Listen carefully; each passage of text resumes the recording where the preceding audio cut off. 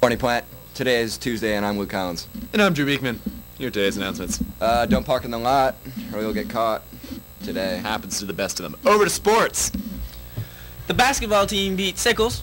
Shout out to Andrew Sanders with the double-double. Congratulations to all our swimming finalists. Among the championship finalists were Allie Donahue, first place in school records in the 50 freestyle and 100 breaststroke. All right. Kyle Kimura, fourth place in the 200 free and 100 butterfly, school record in the fly. Reed Fleming, fourth place in men's diving. Max Jenkins, fifth place men's diving. Dylan Power, seventh place men's diving. Carter Flynn, Sarah Rossi, and Martha Pointer, third place in the medley relay. Congrats. Congratulations to Julian Taylor for verbally committing to Roanoke for college lacrosse. Back to y'all. Yes, sir. well, that was good. Starting today and through December 20th, the Media Center will accept canned food items God from bless. students as payment for library fines.